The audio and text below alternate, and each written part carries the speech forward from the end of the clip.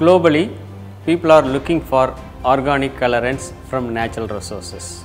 Since synthetic colors cause cancers, we have developed natural pigment from red tamarind, a rare variant of Tamarindus indica. The red tamarind has the numerous utility using as a biocolorant in different industries. It can be used as a biocolorant in food processing industries, brewery industries, pharmaceutical industries and textile industries.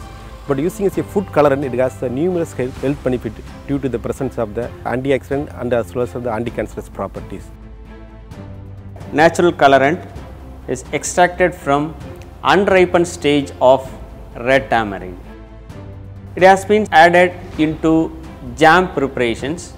It gives very good red color strength because of the presence of red pigment. Since it is developed from red tamarind, there won't be any necessity to add preservative.